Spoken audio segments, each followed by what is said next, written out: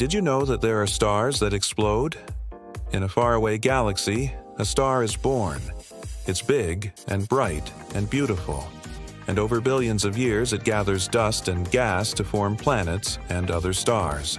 But as it gets older, it starts to collapse. The star's core gets denser and hotter until it's 10 times the size of our Sun. Then something incredible happens. The star explodes in a supernova, creating a giant cloud of dust and gas that can travel for thousands of light years. This is the light that we see today. It's the same stuff that makes up the planets and stars. So when we look up at the night sky, we're really seeing the light from exploded stars. These supernovas happen all the time. In fact, there are about 3,000 of them every year.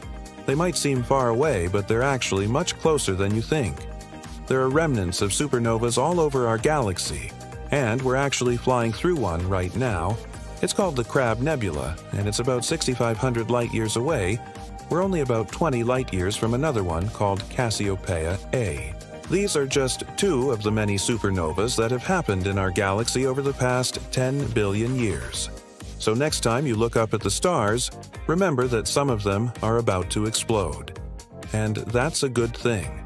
It means that one day they will create new stars and planets and maybe even life.